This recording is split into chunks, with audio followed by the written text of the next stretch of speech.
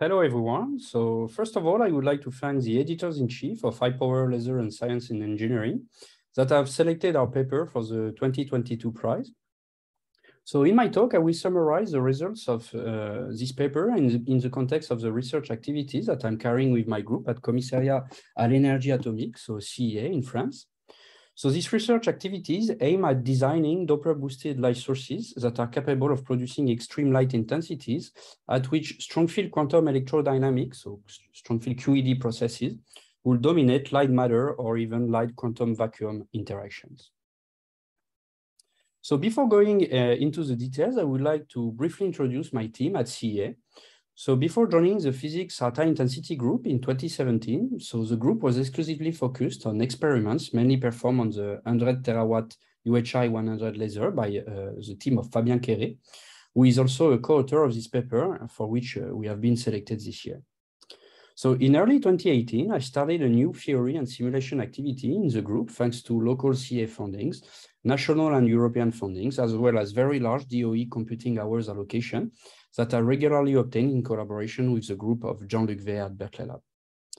So right now, my theory and simulation team uh, includes uh, senior scientists, as well as uh, two postdocs, two PhD students, and one Master of Science student. So here is the outline of my talk. So in the following, I will first give a little bit of context uh, on this paper, on the papers that got selected. And I will then present in parts two and three the numerical and physical challenges that were recently addressed with my team as part of this paper. Finally, I will uh, conclude my talk. So let's start with the context. So the context of uh, our paper is a high field science that was born with the advent of high power short pulse amplification laser technology by Gerard Mourou and Donna Strickland, who were recently awarded the Nobel Prize in Physics in 2018. So this high power laser can deliver light pulses of uh, several petawatt in peak power over extremely short durations, over 20 femtoseconds typically. So once focused over micron sizes, uh, uh, focal spot uh, sizes, intensities of 10 to the 23 watt per square centimeters can be achieved that are associated to extreme conditions, such as, for instance, 10 million photons in the volume of uh, an atom that can be encountered at every moment. That corresponds to extreme uh, electric field amplitudes of 300 teravolt per meter that are capable of accelerating electrons for their rest position up to the velocities close to the speed of light in less than an attosecond. So why uh, studying high field science is important? So the first interest is mainly fundamental as the light matter uh, interaction can uh, produce uh, extreme plasma states that are ultra relativistics out of equilibrium and where uh, highly nonlinear effects are the norm. So such plasma conditions can only be found in uh, uh, astrophysical objects, compact astrophysical objects. And so reproducing them in the lab represents an immense fundamental interest. So the second interest uh, uh, of high field science is that the light matter interaction can produce secondary sources of uh, particles and light that have uh, remarkable properties. So these sources can indeed uh, be ultra compact. So nowadays we can produce relativistic electron beams close to GV, so above GV energy up to 8 GV over centimeter scale. And uh, these sources also have the properties of being uh, ultra short, so down to tens of attoseconds, which gives the opportunity to probe uh, ultra-fast phenomena in matter, such as the electron dynamics in atoms, for instance. So nowadays, the most intense uh, lasers, petawatt lasers, can reach uh, up to 10 petawatt peak power, which opens up new perspectives for high field science. So in particular, a major interrogation of the high field science community is to uh, find a, fundament, uh, fundamental uh, problem to address with this laser. So what uh, fundamental challenge, what fundamental question in physics can be addressed with these high power lasers.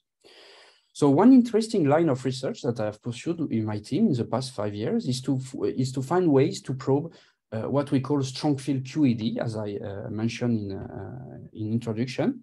And this strong field QED has barely been explored so far in experiment and starts to uh, manifest when the laser electric field amplitudes start to reach uh, intense, uh, electric field amplitudes, intensities at which the vacuum itself can become uh, nonlinear.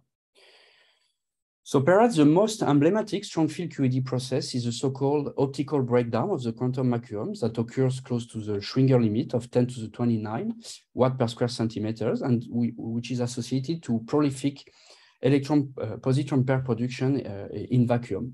So how is this possible? So according to quantum physics, electron positron pairs can spontaneously appear and disappear in vacuum on a time scale given by the uncertainty principle here. So for an energy difference delta E equal to the rest mass of a pair, this time interval delta T corresponds roughly to a zetto so 10 to the minus 21 seconds. This is very short. But if, if one could apply an electric field large enough during this time uh, interval delta T, one could imagine materialize these virtual pairs in vacuum. So a natural question that arises is what is the required field amplitude for this?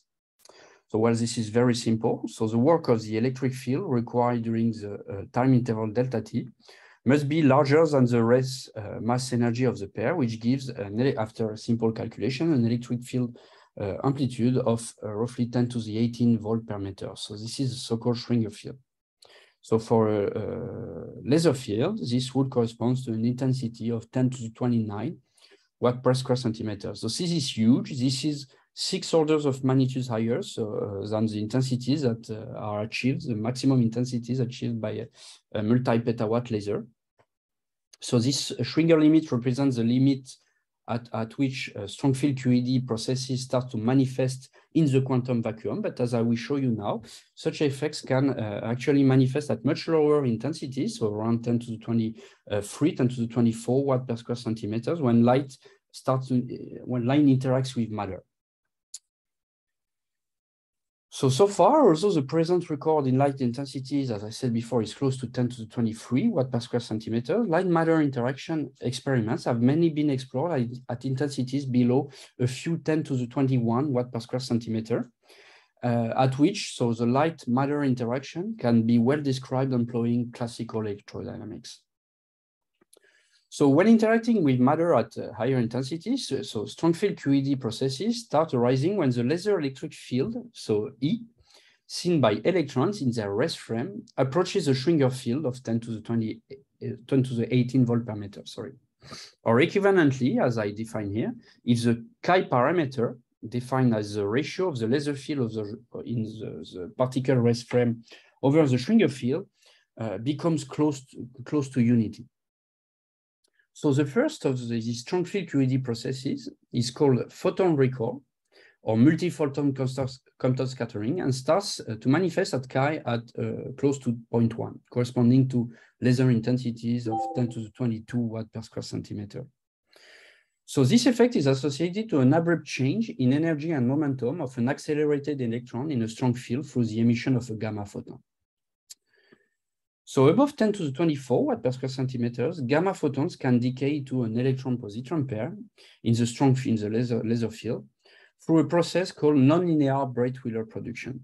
So above this intensity, each electron-positron uh, can, pair can produce gamma photons by photon recoils that interdecay into other pairs and so on and so forth. And this results in uh, uh what we call a QED cascade, associated to prolific electron-positron pair production and that can lead to uh, extreme plasma, plasma states where collective effects uh, play a major role and that are governed by strong field QED processes. So finally, at intensities close to 10 to the 29 watt per square centimeter, so vacuum breakdown can occur, potentially leading to even more extreme QED plasma condition.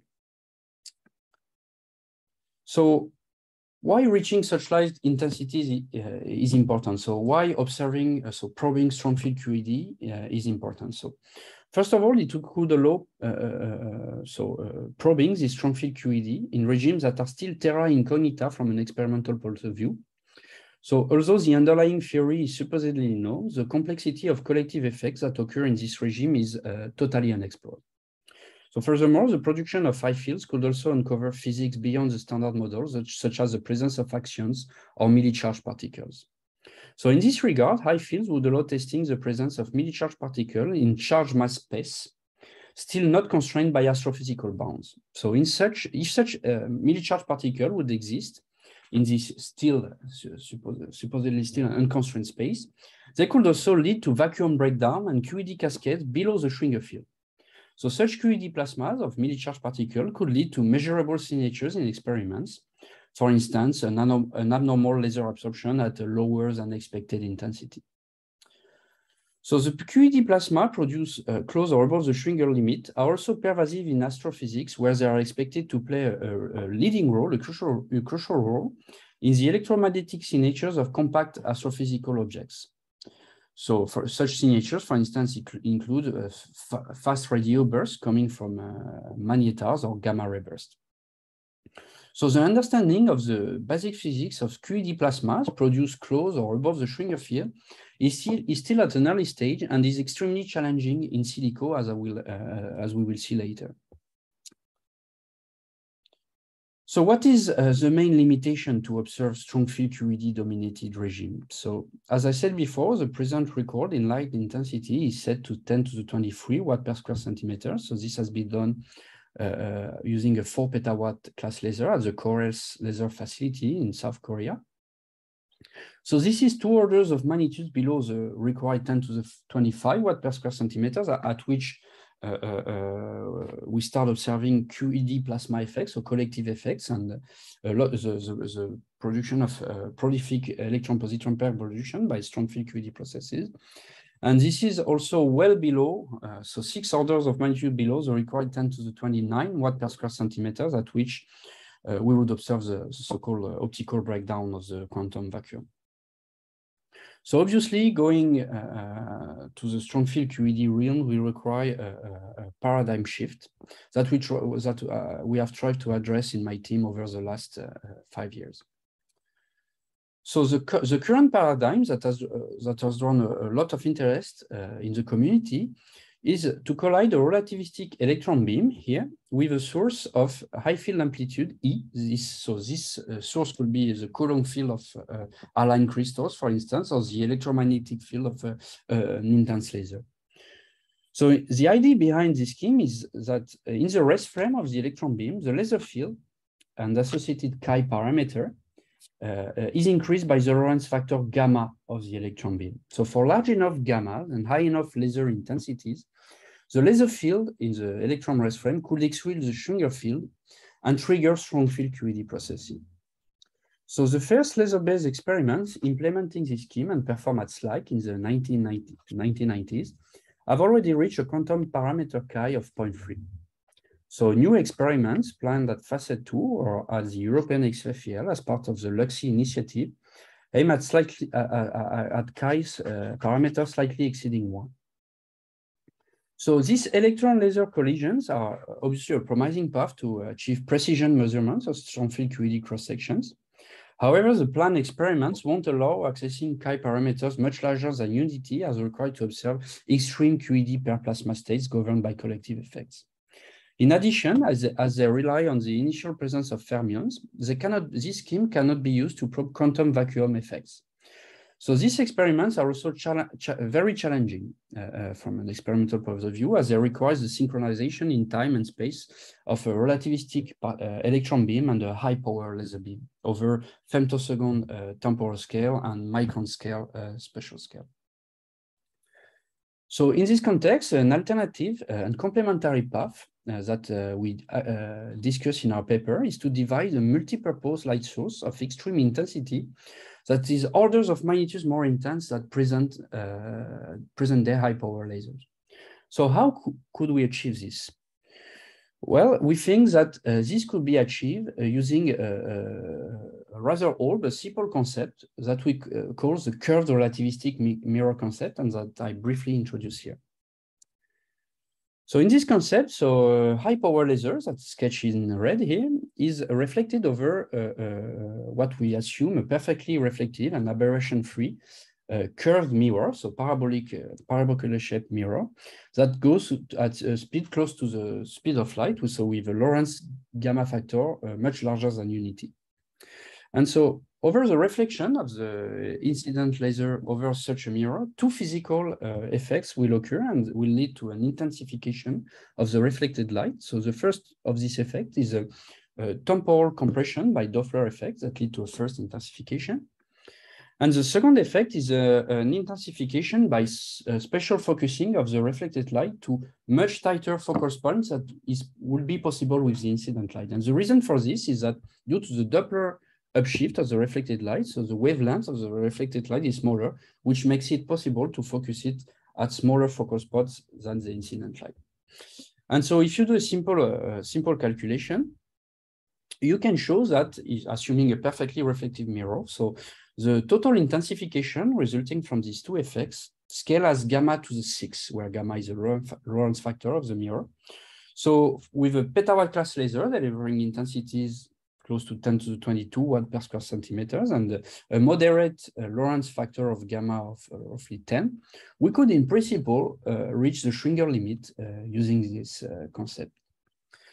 So obviously, the, the, the, major hurdle with this concept has been to find a realistic implementation of such a mirror in experiments. So how producing a relativistic mirror, which is uh, perfectly reflective in experiment and with no aberration. So this has been the main challenge. And in, uh, at, in my group, we think that this can be done using uh, uh, what we call uh, relativistic plasma mirrors. So remarkable physical systems called relativistic plasma mirrors. So what is a plasma mirror? So a plasma mirror can be generated when a high power femtosecond laser with high contrast is focused on an initially solid target as I sketch here. So at laser focus, the laser field is so intense that it quasi-instantly ionizes matter and generates a dense plasma, which is reflected reflective for the incident light. So owing to the high contrast and very short laser pulse duration, this plasma barely expands in vacuum, as I sketch here, during the interaction and forms a sharp plasma density uh, profile we, uh, with a sharp, uh, what we call density gradient scale length at the plasma vacuum interface, which is much smaller than the incident laser wavelength. And so in this condition, the dense plasma will act as a, a mirror, a so-called plasma mirror, of high optical quality that can specularly reflect the incident light as I sketch here.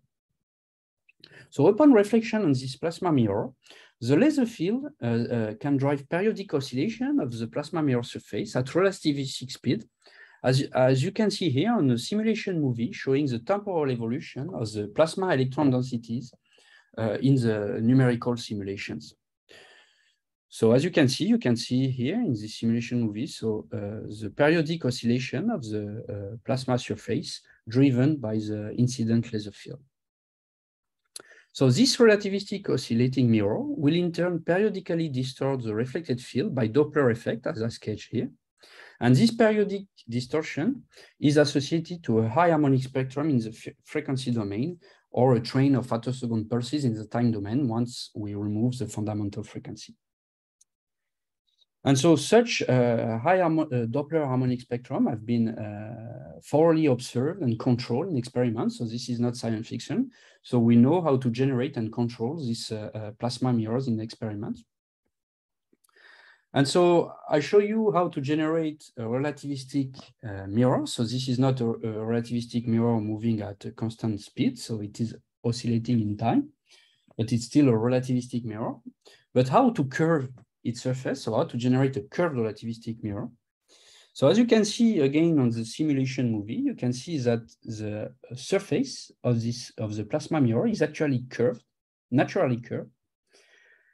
And this natural curvature comes from the inhomogeneous laser radiation pressure at focus, so the laser intensity being higher at the center of the laser focal spot than on the edges. And so the this spatially varying uh, radiation pressure leads to a natural curvature of the uh, plasma mirror surface.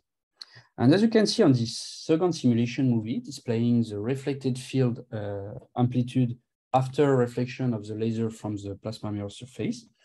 And so you can see that this uh, natural curvature can actually tightly focus the reflected field. And so this this has been done for a multi-petawatt laser, so a two petawatt laser.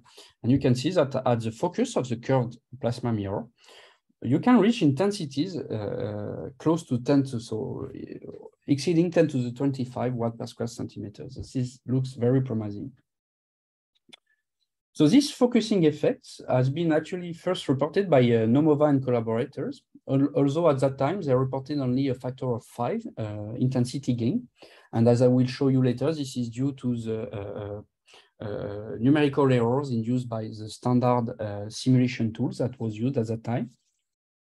So this effect was later observed in experiment in the physics at high intensity group at CEA with the 100 terawatt UHI 100 laser. And uh, in particular, during my PhD, uh, we proposed with Fabien uh, to control this curvature by, by tuning the uh, plasma gradient scale length at the plasma vacuum interface. And this has been validated experimentally. So we demonstrated that by increasing the gradient scale length, we could actually increase the curvature of the uh, plasma mirror surface that in turn leads to an increase in the uh, Doppler harmonic divergence. So this was an indirect measurements through the Doppler harmonic divergence. So at first, this effect, so for a long time, this effect as this curvature effect, natural curvature effect has been considered as highly detrimental as it increases uh, the divergence of uh, the Doppler harmonic beam, which makes uh, then difficult to exploit this beam in secondary uh, experiments. So instead, we, with my team, we recently consider using these effects to uh, reach extreme light intensities, which leads us to the following uh, question. So what are the maximum intensities that one can attain as a focus of a, plasma, a relativistic plasma mirror that will be curved by radiation pressure? And actually, so this leads me to the second part of my talk, which uh, will uh, briefly talks about the uh, exascale and accuracy challenges. Actually, answering this question has to be done using uh, very challenging first principles 3D uh, particle uh, kinetic in cell simulations. So he, on this slide, I uh, briefly introduce the uh, so how such code works. So in, a, in this code, so electromagnetic fields and sources are discretized on a mesh that I sketch here. And plasma particles, so electrons, uh, ions, can uh, freely move through, throughout this mesh. So plasma particles in our uh, orange here. So, and at each time step, so a particle in cell code, a P code, uh, first compute the current and uh, uh, charge sources on the, on the grid mesh. So this is called the current charge deposition step. Once we know the electromagnetic sources on the mesh, we can solve Maxwell's equation on, on the mesh. So this is called the Maxwell solver step. This is a very important step. And so with the Maxwell solver, we can advance the electromagnetic fields at the next time step. And then we interpolate back the electromagnetic fields at the next time step on particle positions. This is called field gathering. And we then we then advance uh, uh, particle position using a relativistic motion equation. So, so far, uh, plasma mirror focusing simulation were not tractable in 3D with a standard simulation tool. And uh, in, in, order to do so, we had to address uh, two important challenges. So the first challenge is uh, an increase in accuracy because the standard uh, finite difference uh, Maxwell solvers that was used that were used so far can induce uh, strong artificial numerical dispersion of electromagnetic waves that can uh, strongly affect the propagation of Doppler harmonics uh, in vacuum, the generation and propagation of Doppler harmonics uh, from the plasma mirror. So to overcome this barrier, we developed a massively parallel dispersion-free pseudo-spectral solvers that uh, are totally dispersion-free and uh, solve this accuracy problem. So the second challenge, challenge has been to port the PIC, the particle in cell algorithm, so our, co our PIC codes to uh, the next generation of exascale computers, because the uh, most challenging uh, plasma mirror simulation in 3D can require up to trillion cells and trillion particles. We obviously need the uh, largest machine available worldwide.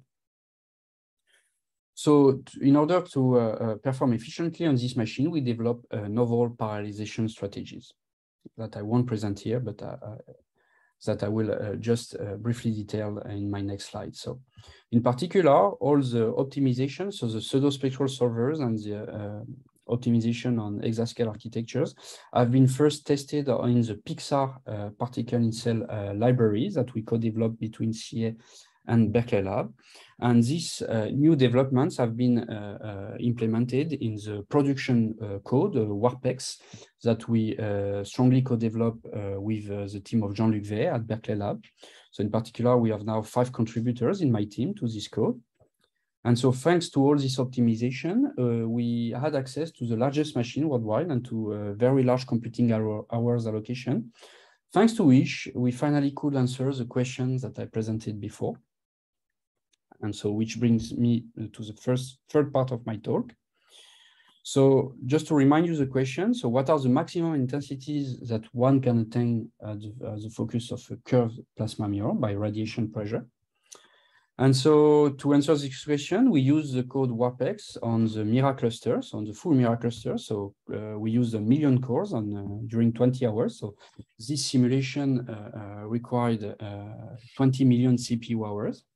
So here I sketch the simulation setup. So in this simulation, so we impinge a high power laser in, red on a, a, a plasma mirror. So this plasma mirror gets curved by radiation pressure and uh, focus the reflected uh, Doppler harmonic beams uh, uh, in front of the plasma mirror as I sketch here. So here are the simulation results. So in the plane of generation, so here, uh, where the Doppler harmonics are produced, so the panel, panel C shows you the uh, spatial temporal profile of the reflected light. So you can see uh, two interesting features. So the first one is a, a, strong curvature of the reflected field wavefront so which uh, which means that the curved, naturally curved plasma mirror actually tightly focuses the reflected light. And the second effect is the temporal compression of the uh, uh reflected light. So this is uh, this representation over one optical incident optical laser cycle. So you can see that the reflected light is uh, compressed down much smaller to compared to the incident optical laser cycle. So panel D uh, uh, shows you the, uh, the spatial profile of the reflected beam obtained from the 3D simulation. So panel, panels E and F show you the same quantities, but now uh, at plasma mirror focus, so where the Doppler harmonics uh, get focused, and you can see that the harmonic beam, so on the spatial profile of the harmonic beam, so the harmonic beam is uh, very tightly focused and with no apparent optical, uh, major optical aberration. So now if you look at the evolution of the intensity of the reflected field in front of the plasma mirror, you can see that uh, the combination of temporal compression and spatial compression can lead to intensities close to the 10, so uh, approaching 10 to the 25 watt per square centimeter. So this simulation was done with an intensity, initial intensity of 10 to the 22 watt per square centimeter. So for the incident laser light. So a nice feature of this scheme is that uh, due to the high harmonic uh, efficiency achieved in this condition, only 30 harmonic orders are required to reach uh, the, the, the, demonstrated light intensity at plasma mirror focus. So this makes this scheme very robust to potential, uh, potential laser and plasma imperfections that are actually unavoidable in experiments. So as I told you uh, earlier, the plasma mirror curvature can be increased uh, by augmenting the gradient scale length of the plasma mirror uh, uh surface. So the natural question that comes is, can we go higher than uh, three orders of magnitude uh, intensity gain? So above 10 to 25 watt per square centimeters. So unfortunately, the answer is no. And to answer this question, we perform the parameter scans of 2D simulation as a function of gradient scale length here, expressed in uh, uh units of uh, uh, incident laser wavelength. And also laser, the normalized laser amplitude on the target. So the results on uh, displayed on this color map show the total intensity gains that we obtain at plasma mirror focus, so as a function of these two parameters.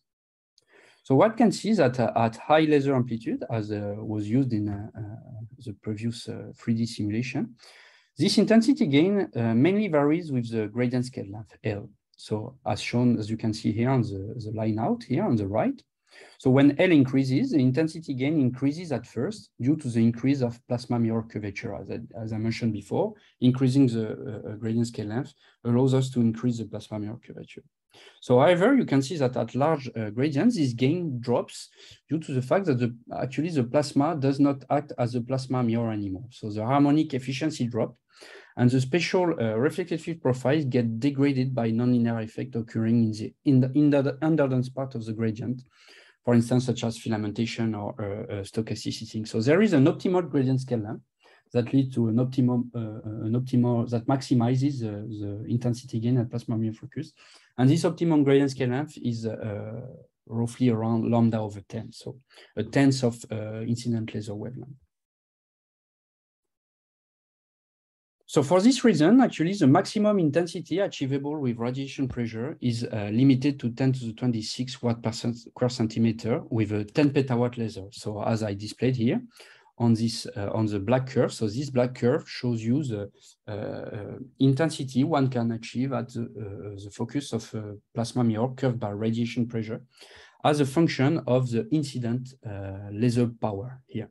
So for a 10 petawatt laser, we can achieve we can exceed 10 to the 26 watt per square centimeter at plasma mirror focus. This is already huge, but how can we reach uh, the Schwinger limit? So actually on the red curve here, you can see uh, the intensity one could achieve at the focus of a plasma mirror if we could focus the Doppler harmonics down to their diffraction limit. And you can see that with a 10 peta in these conditions, so this is very challenging, but if one uh, would achieve this, we could reach uh, intensities close to the Schwinger limit. So right now we are we have uh, very promising ways. Uh, we have found very promising ways to reach uh, the Schwinger limit and to further curve the the radiation pressure beyond the so the, the plasma mirror curvature. Sorry, beyond radiation pressure. But in the following, so I won't focus on this technique, but I will instead focus on uh, uh, uh, another important challenge that will naturally arise in experiments employing curved plasma mirrors. So how to find uh, signatures of the extreme intensities achieved at uh, plasma mirror focus. So a first solution uh, that we have been investigating in the physics at high intensity group uh, would be to uh, directly measure the full spatiotemporal profile of the reflected field from the plasma mirror, thanks to which we could then obtain the intensity reach in, at an arbitrary plane from the plasma mirror surface, and in particular at plasma mirror focus. So to achieve this measurement, uh, we developed in the physics at intensity group with Fabien Quéré a new dynamical ptychography technique, which uses two non-collinear uh, laser pulses at frequencies omega and uh, 2 omega, where omega is a, a fundamental laser frequency. And uh, this combination of frequency is used to induce a time-varying ptychographic object. So this method was su successfully applied in the 100 terawatt regime on the 100 terawatt UHI 100 laser at CEA. Uh, thanks to which, thanks to this um, measurement technique, we could measure the full spatial temporal profile of the, uh, the reflected light from a, a, plasma mirror curved by laser radiation pressure. And this is displayed on the, on the left curve here, the left figure here. And this first study notably demonstrated that the temporal and spatial compression uh, induced by the curved, uh, uh, curved relativistic plasma mirror, uh, naturally curved by radiation pressure, is uh, well in line with theoretical pre prediction. And uh, in particular, the, the optical quality of the focusing is excellent as, as predicted in simulation. So obviously the next step will be to scale uh, this first measurement done in the 100 terawatt regime to the petawatt regime. So the next mi milestone will be to apply this dynamic ptychography technique with petawatt lasers. So a second solution uh, to uh, diagnose the intensity at the uh, plasma mirror focus would be to actually uh, uh, harness the Doppler boosted beam and uh, fo focus it on, on a secondary matter sample to produce clearly, clearly observable strong field QED signatures, such as high energy particles or radiation. So with a radiation pressure focusing, this could be achieved, for instance, by placing a secondary uh, so-called L-shaped target at plasma mirror focus, such as sketch here. So the principle is as follows. So uh, this is a result of a 3D simulation done with WarpX. So here in color scale, you have uh, the incident uh, high power laser that is uh, directed onto a first onto a, the lower the, lo the lower arm of the L-shaped target. So at uh, laser focus and on the lower arm of this target, we produce a relativistic plasma mirror curved by radiation pressure. And this curved mirror, in turn, focusing focuses the reflected light and the Doppler harmonic uh, content on, onto the upper arm of the uh, uh L-shaped target. And at uh, uh, the plasma mirror focus, we can achieve, as I uh, show you before, intensities in excess of 10 to the 25 watt per square centimeter, which gives rise to strong field QED processes. So, and in particular, the production of uh, gamma photon by multi-photon Compton scattering, and the production of uh, uh, electron-positron pair by the decay of a gamma photon in a strong field through the nonlinear Breit-Wheeler processes that I introduced you earlier. So particle in cell simulations and we, with WarpX shows that this setup, so the, this L-shaped target, could allow observing clear strong field QED signatures such as uh, prolific pair production for. So according to our simulation, the maximum chi parameter can reach 30. So this is uh, much larger than all the foreseen experiments with uh, electron uh, laser collisions. And so in this case, the total uh, positron charge can uh, be as large as uh, 0.16 nanocoulomb for a 10 petawatt laser, initial 10 petawatt initial laser power, sorry. And the positron energy uh, can uh, uh, be as large as 3.4 GeV, above 3.4 GeV. So this is a huge energy, and we can with 50 picocoulomb charge at 3.4 GeV. So as a comparison for a standard uh, 10 petawatt laser uh, tightly focused on the solid target, so without uh, Doppler boosting with a, a, plasma mirror, the total positron pair produced uh, would only reach 160 femtocoulomb and the maximum positron energy uh, of 600 MeV with less than 8 femtocoulomb above 500 MeV energies. So what we show uh, uh, also show in our simulation is that the signal to noise ratio uh, of the produced strong field QED processes is orders of magnitude higher with Doppler boosted beam uh, than with standard beams. So this is uh, uh, just to show you that such L-shaped targets are within reach of uh, state-of-the-art uh, uh, micro fabrication technique. So such targets have been uh, engineered from us from um, 3D printing techniques developed at TU, TUVIN by colleagues and that printed these targets for us, as you can see here on a microscope, microscope view of such a target.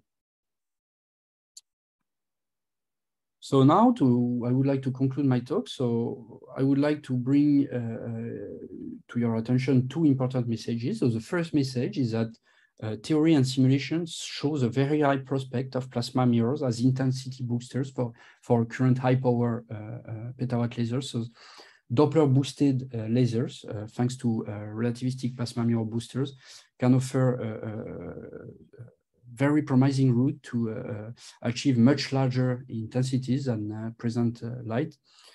light sources and would allow approaching the Schwinger limit potentially with petawatt class laser. And the second message is that these Doppler boosted, boosted lasers can uh, considerably increase uh, strong field QED, the observable strong field QED signatures compared to standard laser. And this uh, offers the opportunity to uh, uh, probe and test strong field QED in yet uncharted regimes. So thank you, thanks a lot for your attention.